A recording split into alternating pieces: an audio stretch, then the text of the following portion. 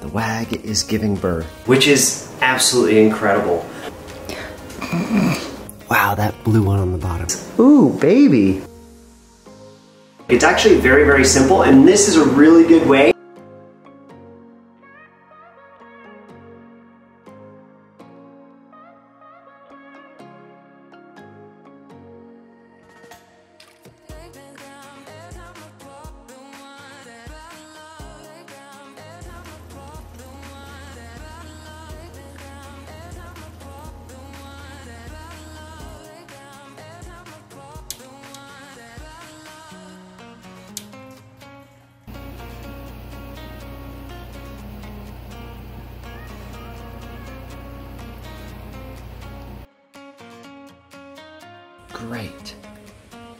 Walking out the door, 6.30 a.m. I shouldn't have even come in here.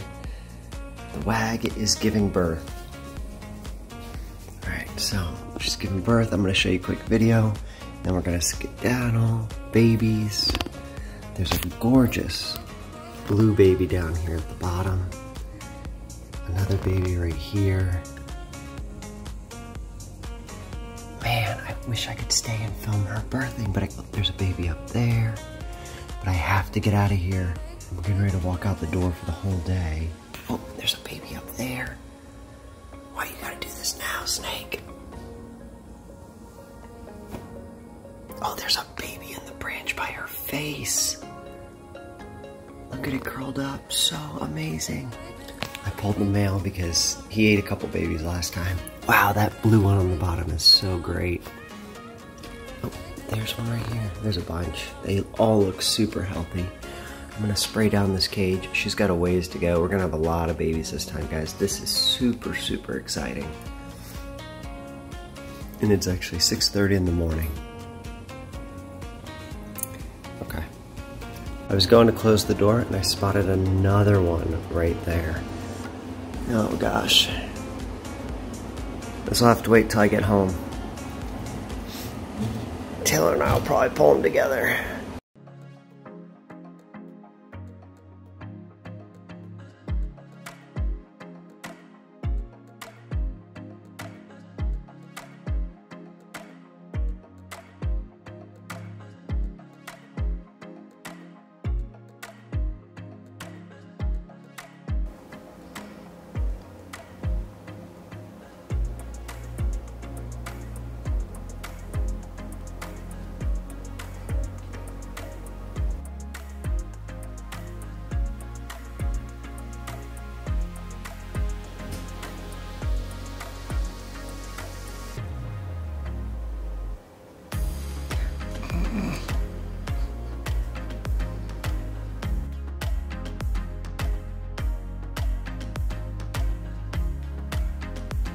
Alright guys, so this morning you saw that video that when I walked in the snake room, our Wagleri was giving birth again, which is absolutely incredible. And it's um, always when you're going to work. Yeah, it is. Like I'm walking out the door, boom, baby's hitting the floor. And guess what? This is actually the second year in a row that this pair of Waglers has given birth to for us. Uh, and she was right in the middle. You can see her back end was really big. There was babies all over. And so real quick before I left, importantly, I pulled the male, uh, Mantis. He is not a very good dad. Last year, he actually ended up eating one of the babies. And I was frantic because you were at work. yeah, she walked in and he was wolfing it down, swallowing it whole. So I pulled him. And people might ask, hey, why, why, don't you pull him way before she has birth? Well, number one, she gave birth a month early this time. She birthed in September last year. She birthed in August this year. Um, so why I don't pull him is because the parameters in this terrarium here are perfect for him. He has thrived in here for years and years with her. And the chance of him eating a baby or two are totally worth keeping him healthy to me. So if I were to set him up in his own little temporary tank, he gets stressed.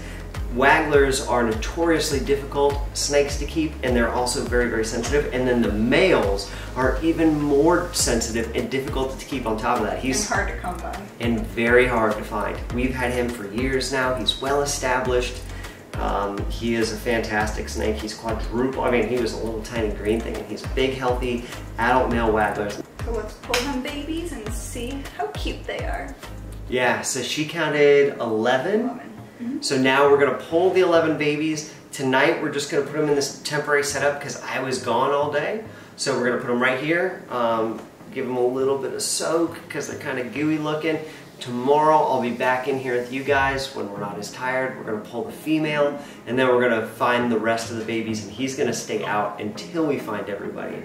Because no more, you are a bad little dad. He's like, he's like child support, watch this. He's always hungry like Toby. Where's her head? Oh. Yeah, watch her. She's up Oh, ah! Is she trying to eat you? No, look, the, he, the leaf was up Right. against the glass and it started falling. Okay, you found one over there. Hold on, let me. I got an idea. I'll bring the bucket in close, and you can scoop it in. Okay, sir, you're awkward. Oh, ah! Is he is he striking? Look at him! Guy's going. Oh my god, that was ridiculous. That was so cute. I wish they would bite me and I'd be fine. Oh, Don't eat the leaf, you little shit. Come on. Oh my god. Oh my god. here you want a second hook? He bit the hook. They're bitey for like a week, and then they turn into the most docile snakes on earth. Oh. These things are like Velcro on the branches. They're actually a lot harder to get off branches than it looks like. Hold on, wait. Let me focus on. Perfect. Little male. Ooh. Three. Is that an Insularis? I know, doesn't it look like it look like patternless? That is, ooh, baby. Alright, He's a nice green. Four. Right, four. Four. Good job, go slow. Five, right? Five, yeah. Five.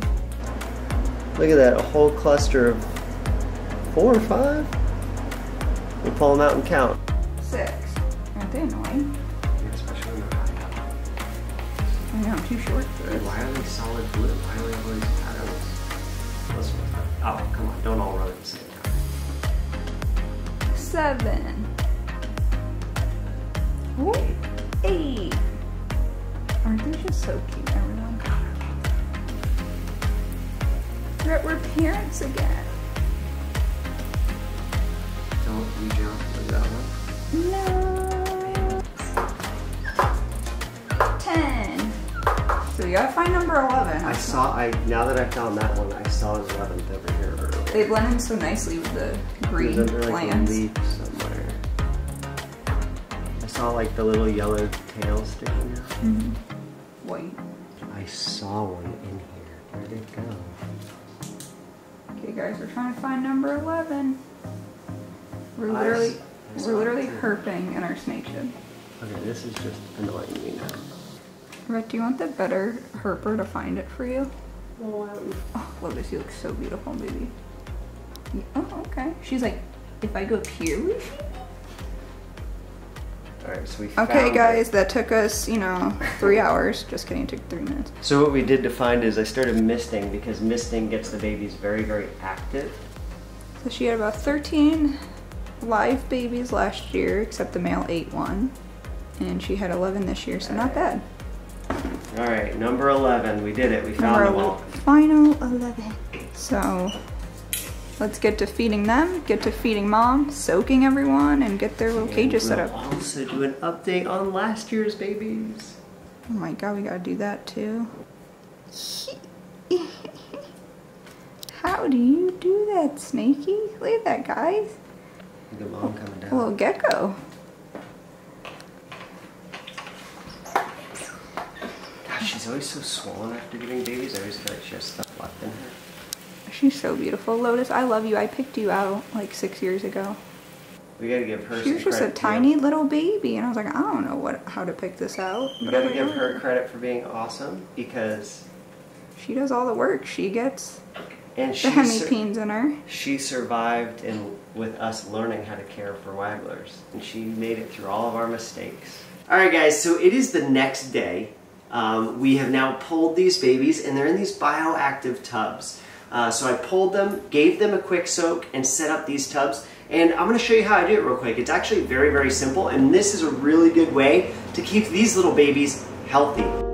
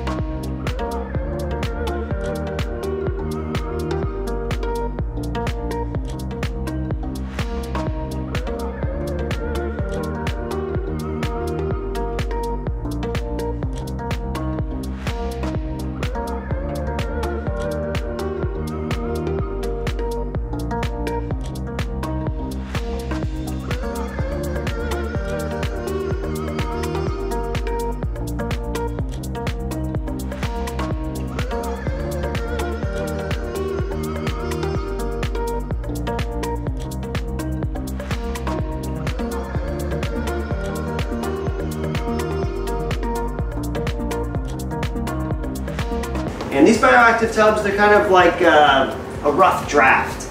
The tubs that the last year's babies are in are really beautiful. Let me show you those real quick.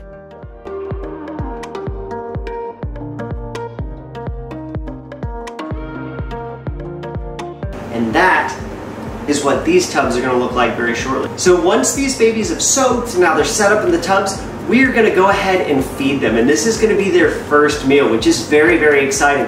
Once they get their first meal and start rolling, uh, that's like the most exciting part for me. It's like, wow, these babies are established and they're getting ready to go. I hope they eat as good as the swamps did. They will never eat as They good as won't. me. All right, guys. So we are gonna start out feeding some of these baby waglers. We're gonna give them little tiny pinky parts.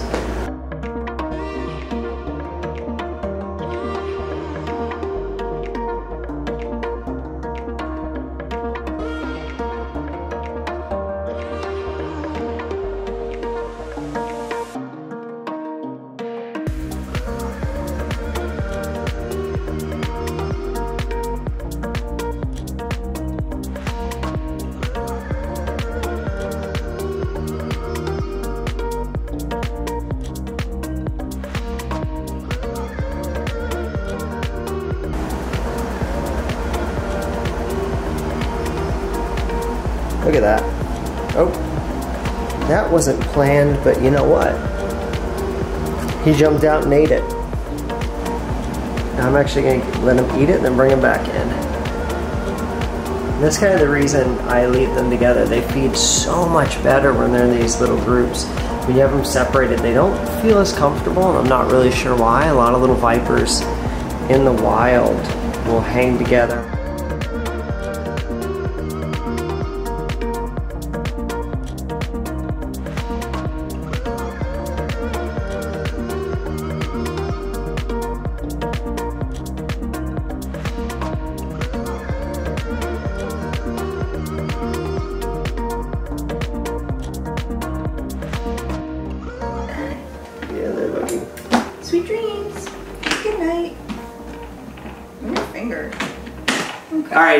That we fed those guys, are you guys ready to see last year's babies? They're so much bigger. They are. All right, let's, Let's feed show them. you guys. Let's feed them. All right. Okay. I know. All right, so here is uh, some of the bioactive tubs that we have the babies in. Let's uh, let's, let's give them a feed. Let's check them out. Oh my god, they're so going in the big. shed This again. one is so blue still. I know. They're so much bigger than the baby. Yeah, they've been doing awesome. They could eat the babies. Look at Do you think the blue ones will stay blue? I have no idea what they're Even the do. green ones are beautiful though. So first, uh, before feeding the waglers, we always give them a quick spritz. A lot of times it causes them to defecate. It also kind of wakes them up. Wake them up with a couple pinches to the tail. Ooh, what's tickling my butt?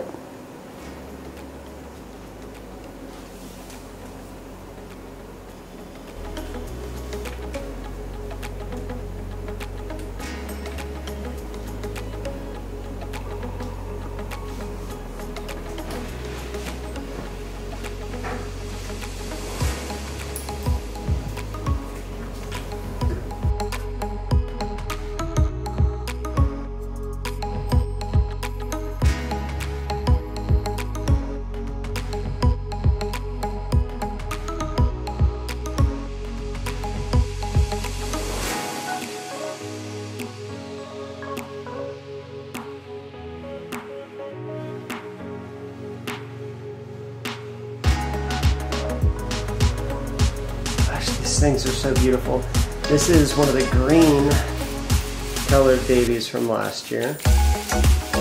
Just like the last one, give it a little bit of water. See if it starts drinking. Don't want to get it too invested in that drink. It's hard to switch them back over to food time.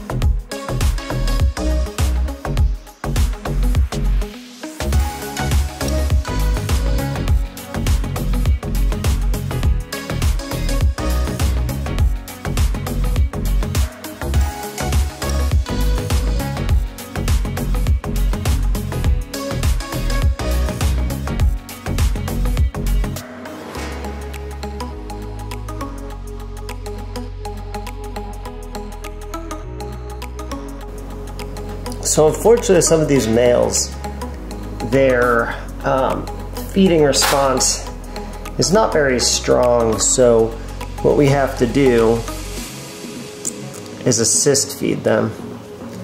It's got to be gentle because their necks are super delicate. Just ease it right into their mouth like that.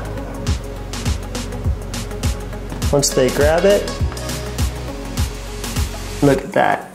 I stick it in their mouth, I set him on the branches, he just goes to town. It's super easy. It saves a lot of headache of teasing and bapping him in the face and potentially stressing out the snake. Look at that. Pretty big meal, but it's okay.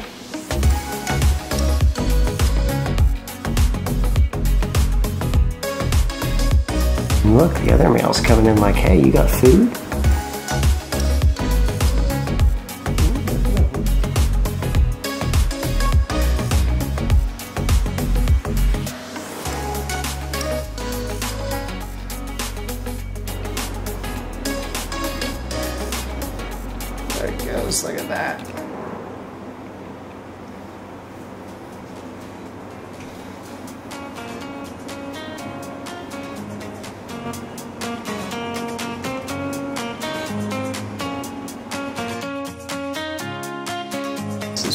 The biggest one. This one's a chunk.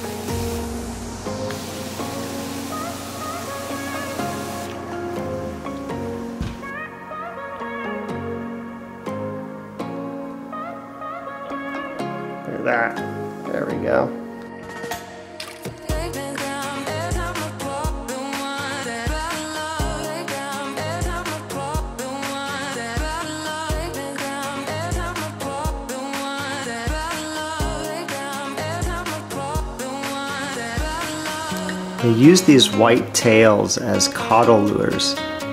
So when something touches that tail, it often makes them think, ooh, who's biting my tail? Is there a frog there? Aha! There's not a frog. There's a juicy little mouse playing with your tail, buddy.